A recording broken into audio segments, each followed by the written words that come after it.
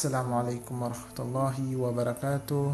Ito na po ang ating part 2 na video sa, na kung saan ang day 2 ng documentary ng aking bunsong kapatid sa kanyang kasal.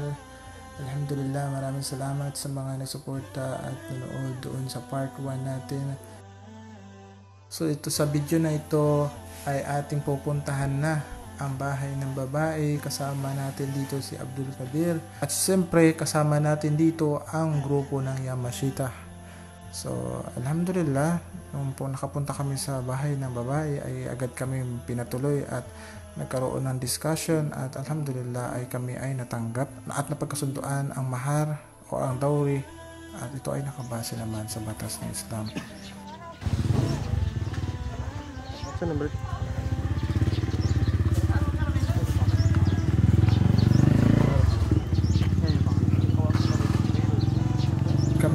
Ay dumaan muna sa bahay ni Alyasir at, mag, at nagkaroon kami ng munting salo-salo kasama ng mga kaibigan ng Yamashita, si Abdul Kadir. So, sa day 3 guys, kami ay pumunta ulit upang dalhin ang mga kailangan base doon sa pinag-usapan tulad ng mga inumin, mga bigas at iba pa. Dol, sa akin, Dol. Basta maganda ka sa mga yung bigay ko sa kanya number mo. Hello guys, what's up? So ngayon, pahatid na kami sa uh, panitian, um, bigas ni Ismail para sa pagpapabot sa kanyang mapapangasawa. Um, so inshallah, so inshallah, malapit na kami. Um, inshallah, sa labog na po kami, sa labog. Stop kami, bro. Tatlong bigas, uh, hindi kaya, masyadong matarik ng daan. Tara, di. Diyan na sa likod sila, Yasser. Sabi mo, driver? Ano sabi mo? Ha? Bigat? Ha? Bigat yung tanong mo? Hotdog. Pwede din katabay yung matanong. At siyempre, upang amin masilayan din na ang pinagkasunduan na baka na nabili at ito ay nagustuhan ng, ng pamilya ng babae yung bibilhin na baka ay aming titingnan. So, alhamdulillah. Limang po kakalungi po di awi, may may salat. Okay na naman sigam. Okay, nagpalay na rin na yan. Sa papa na, Ismail, dito pa ito. Niya Aha. ang kawid, maagkawid niya. Ah, Itim yan? brother. So, ayun nga guys, nandito na kami sa payugo. kababayan. So, nandito na yung baka na halagang umbon 45. kami ba no? Ito na yung pang ano namin, pang luto niyan, pang gatong. So, nandun yung kawali, oh.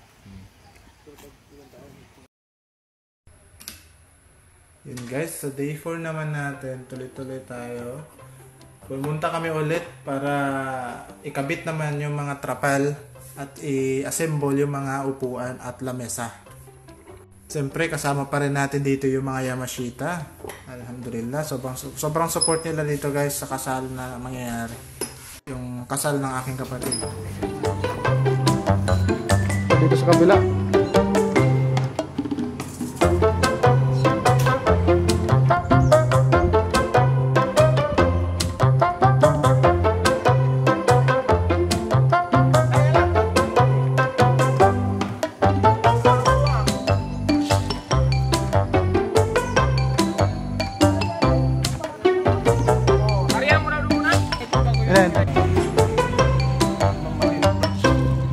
So yun na guys, nabutan na kami ng gabi.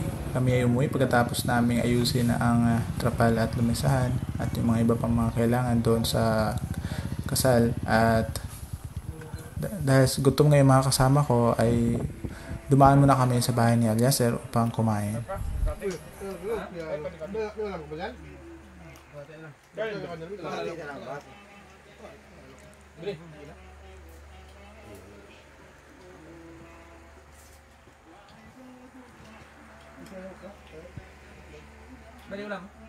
So sa day 5 dumating na yung dalawang kaibigan natin na member ng Yamashita na galing rito ba upang s- tumulong na din.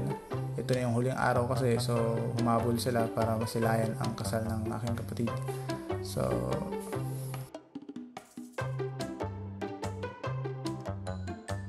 So habang inaayos ni nanay ko yung ah, maligay, kung sa tawag sa amin ay maligay, na kung sa mga laman nito ay mga pagkain at may soft drinks, ganun lahat. So, sa kabilang banda naman ay kami ay pumunta doon ulit sa panitian kasama ang ating ah, malupit na driver si Isa dala ang mga pagkain at mga kailangan pa para sa kasal.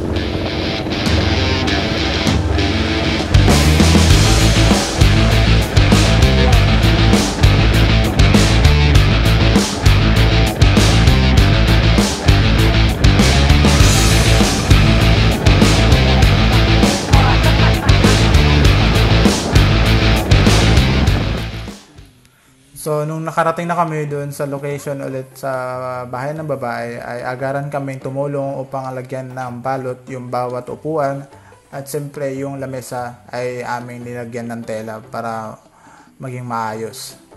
So, at siyempre may tarpaulin na rin kaming ginawa para doon sa kasal ng aming sa aking kapatid. So, nabutan na naman kami ng gabi, uuwi na naman kami pagkatapos nito kasi kinabukasan, ayun na yung ah, kasal ng aking kapatid. So, abangan nyo na lang yun sa sunod na video. At siyempre, sa gabi na yun, sa last day ay nagpakulo na ng mga tubig yung mga cooker natin at siyempre kinatay na din yung baka para ma-prepare na din yung mga may slice para sa gagawing putahe para bukas. Abangan nyo guys yung next video natin na part 3 para sa final wedding na final day kung saan ay kasal na ng aking kapatid sa next video. Maraming salamat sa pagpapanood. Thank you guys. Hello guys, thank you for watching our videos. And we have a YouTube channel which is Mad Studio. Facebook page. Don't forget to like Share. and hit the notification bell below. para maging updated kayo sa ating panibagong videos. Assalamualaikum. See you in the next video.